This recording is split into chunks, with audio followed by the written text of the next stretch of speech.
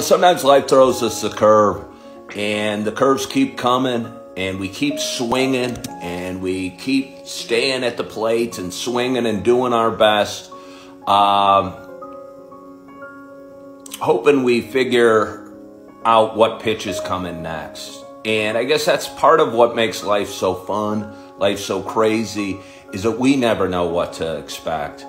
And you know, honestly, I've been going through some challenging times over the last 11, 12 months. Uh, actually, uh, you know, and that's part of what this show's about, sharing some of my experiences. And hopefully, you guys can learn something uh, from the bits I do share and get see some value in my journey and learn a little bit about your own journey, maybe, or at least realize uh, that a lot of people are going through some challenges and that life's not necessarily meant to be easy every day or perfect every day or not every moment is going to be joyous. And we all face challenges we all go through struggles and i'm going through mine right now. And because of that i uh, was up early.